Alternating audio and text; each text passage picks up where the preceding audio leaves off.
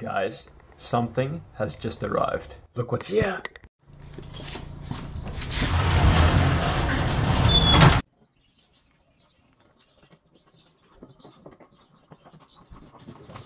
All right, everybody. So this is the Big Boy TSR 250. It is a dirt bike inspired lightweight commuter motorcycle and it's going to serve two purposes. The first, it is going to be my fiance's trainer bike. So she's going to be using this to learn to ride when she's not taking lessons with Redbeard Riding Academy, this video sponsor.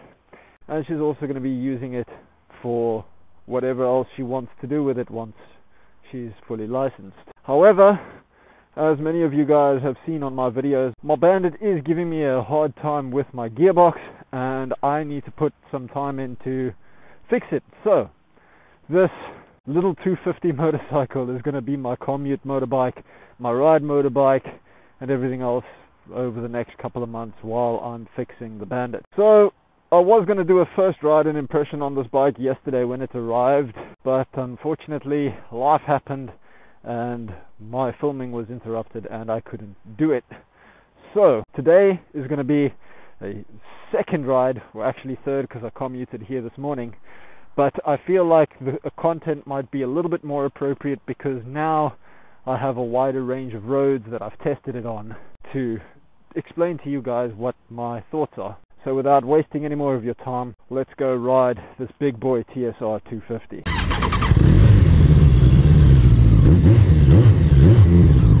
Right, so let's get started with the ignition. The first thing that I thought was kind of cool but maybe a little bit gimmicky was this thing's ignition. See, this key's got like a weird cutaway, and in fact, it's got like a weird slider over here you can see that hides the ignition it's kind of cool, but it might be a little bit gimmicky. Apparently, it only works for this key and the spare key, but um, I don't know. Um, it is very important that I tell you guys that this motorbike is a very Chinese bike. Hey, uh, I've only got good impressions of it so far. So anyway, so uh, let's do the starting sequence, shall we? Because it's a carb bike. There's a little manual choke over here. Got to switch it into the double position or open or fully choked or whatever you want to call it. Ignition on. I'm going to make sure I'm in neutral here. There we go neutral indicator. Nice little uh, gear speed indicator gear position indicator switch thing over there. Now it's confused. It doesn't know where I am oh. let's get it into neutral okay so start it up I might have too much choke because the motor is a little bit warm.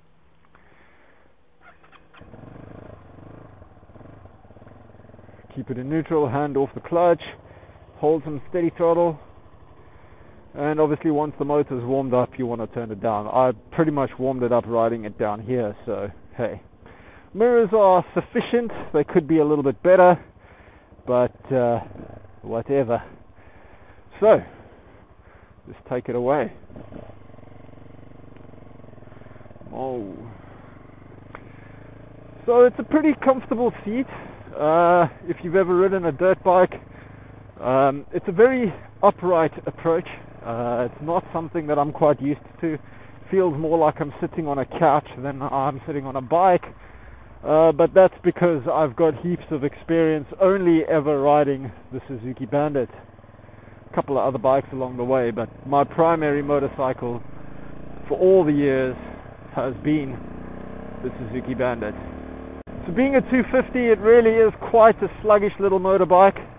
It um, it clearly has an attitude of yeah, we're going nowhere slowly, but that was pretty much exactly what I wanted for a first bike for my fiance. Considering I was the dumbass that went and bought a 1200 as my first bike, so.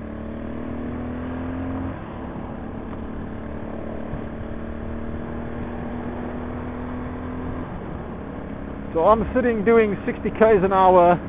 I'm already in fifth gear, and I'm at a good cruising RPM. And yeah, I need to be in this lane. Sorry. And yeah, I mean it's it's kind of like you have to understand that the bike is only going to want to work so hard. And you kind of just accept it, right? It is a 250 after all. It's not going to get anywhere quickly, but um, yeah, it's getting there.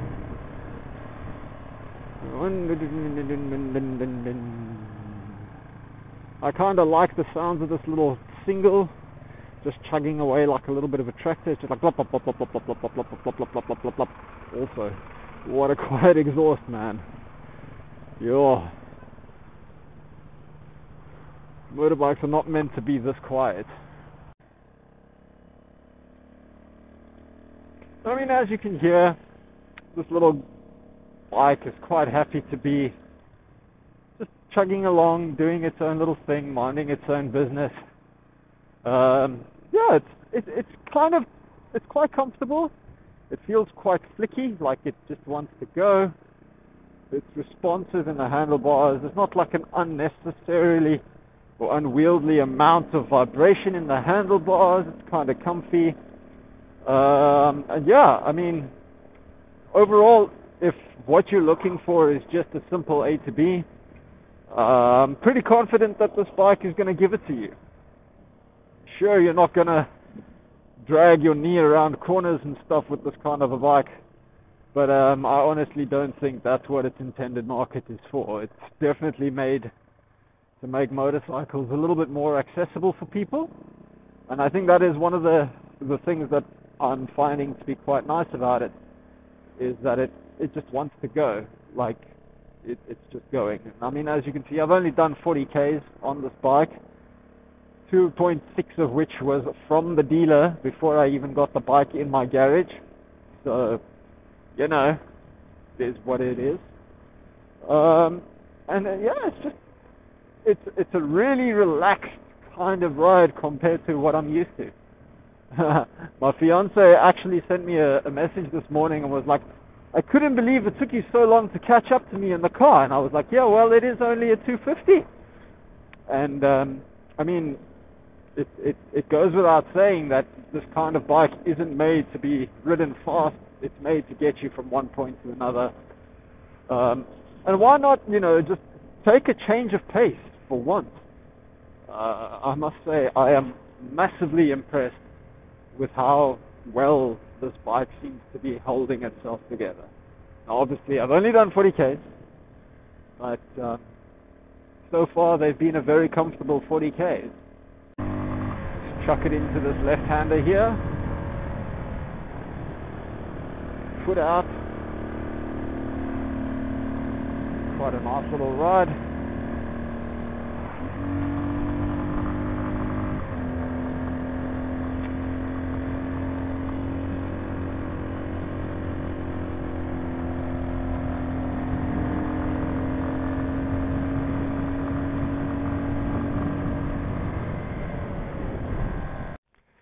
Okay, so let's talk some specs about this little bike, right? First up, we have a 223.4 cc four-stroke engine.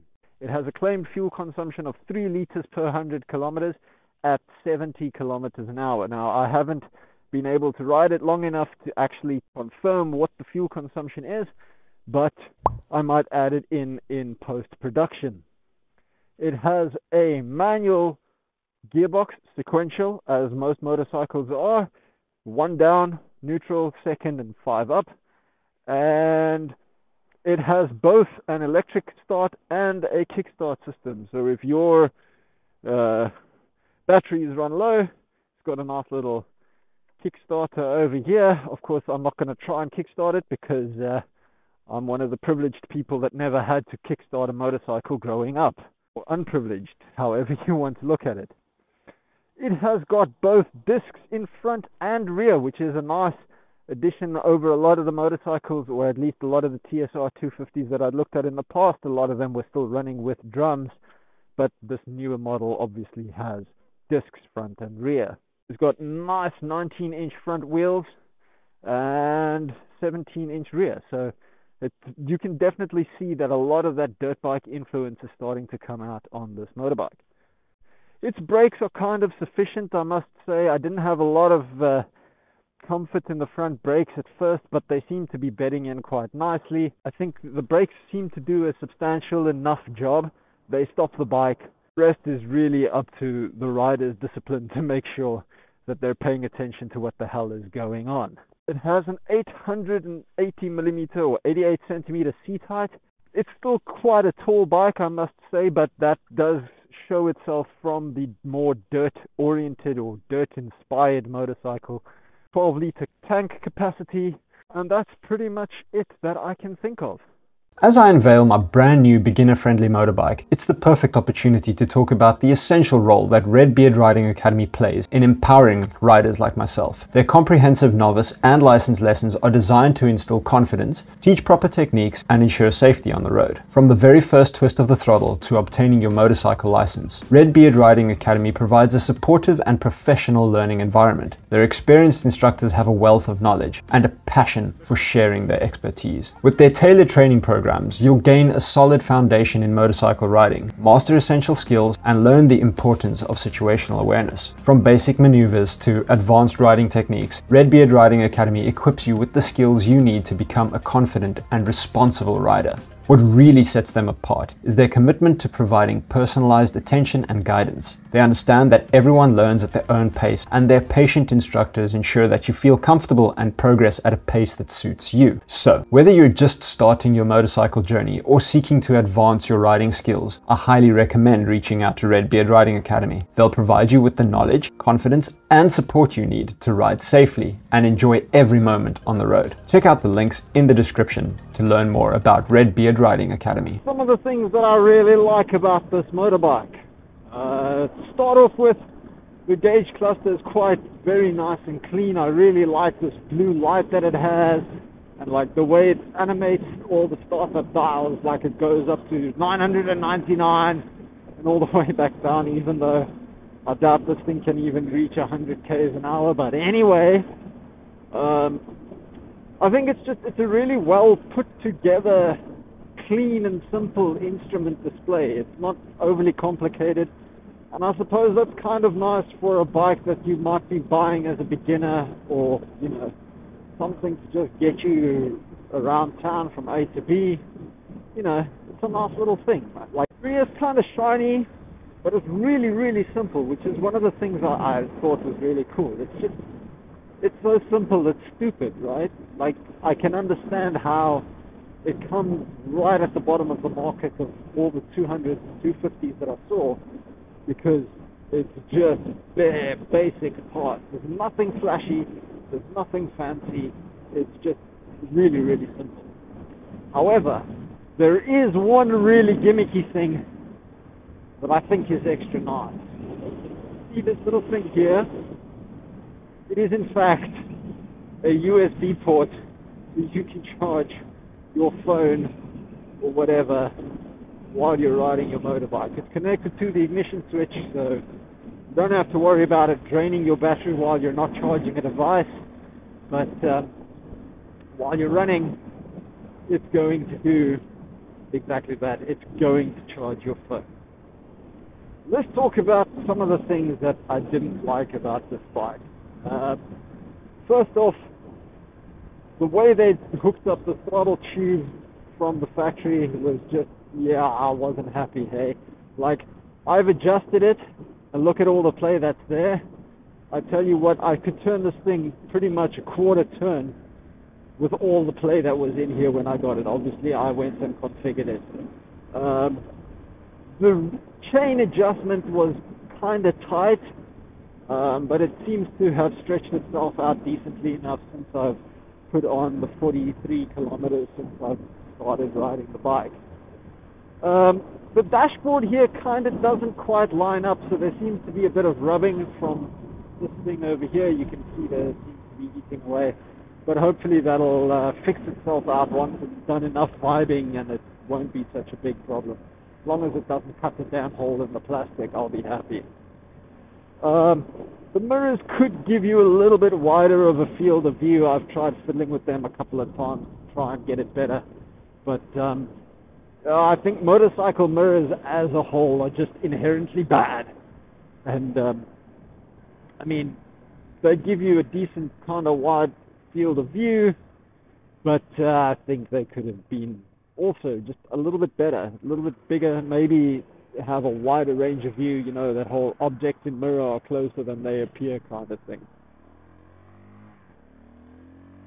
One of the things I don't like about this motorbike, and it's no testament to the bike itself, but because it's a 250, uh, I spend a lot of my time riding in the yellow lane because I feel that way it's safer than sitting in the traffic.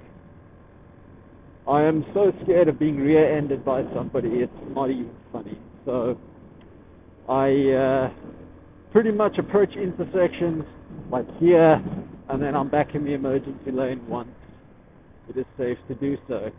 Check that taxi just pulling over in the middle of nowhere. Right. So yeah, that's that's pretty much how the riding is. Um, it's like just a couple of small things, man. That that um, sure a better top end on this bike would be better, but uh, look at that, I'm passing a truck. it's not entirely bad, and um, oh, the mirror just keeps like losing itself. Well, that sucks. I have to check if there's a pinch in adjuster for the mirror because it keeps like falling. Ooh. Okay, so we just cruise on the highway. Well, it's not even a highway.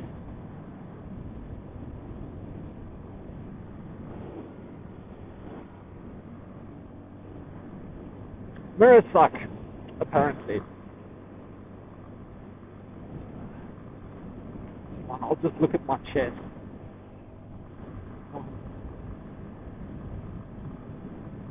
Stay. So I am trying to keep this bike a little bit slower because it's in its break-in period. I got the break-in service at 300 kilometers, 500 kilometers, which isn't it isn't that good considering I do about 250 k's a week. But I mean, the first time I've ever had to do a break-in service, so I'm not going to complain. I'm just going to do it, get it done, so that it do what it needs to do being passed off off the bike. Hey, thank you for greeting me. I appreciate it. Yesterday I just got completely ignored by a guy on his NC750 because I'm just riding a little cookie. Chinese bike. Anyways, it's kind of fun. It's kind of nice. Uh, I'm pretty confident that my fiance is going to have a very solid foundation learning to ride this bike, and that was one of the reasons why I got it for her. Uh, and obviously, I would have wanted a, a, better, faster bike for her, but uh, because of the bandit, things had to be rushed along a little bit, and this is now what we got to do. So yeah, so guys, I do hope you're enjoying this video. I want to say a huge shout out to my patrons over on patreon.com. Your support really does go a long way making videos and content like this possible. And yeah, like guys, I, I appreciate you. Like if there is one thing I cannot express often enough, I really, really appreciate your support. If you're enjoying this video, please give it a thumbs up and subscribe to the channel so that you get more content. Obviously, I will be making a lot more content on the TSR 250. Um, and I'll be making content of the fix of the bandit as that goes on. Um, Redbeard Riding Academy has in fact told me that I can make use of their workshops for all the work that I'm going to be doing on the bandit, which is really cool, and I really appreciate that from them. So do me a favor, go support them. Check the links in the description because supporting them supports this channel and then I, I mean, I can't ask for more from you guys. I really appreciate your support. And lastly, a huge thanks to Redbeard because you guys are awesome. You really are passionate about making motorcycles more accessible to everyone, making it safer for everyone, and I really appreciate that. Life is going to throw a ton at you. Uh, but whatever it does, just remember, don't look down, look ahead. And um, until next time, people, ride safe.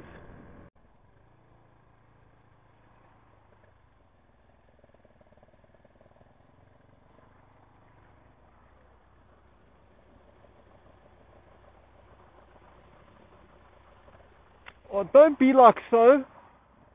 Ja, maar jy is onbeskof, né?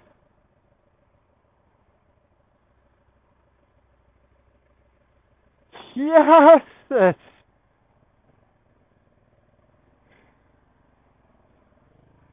Thank you. Unreal. Yeah. Just let the guy in, man. He's trying to get somewhere. Yeah. I ain't seen that shit in Cape Town. Only in Joburg people drive like that. Come now, Cape Town. And you still want to gooi the finger at me. You, lady.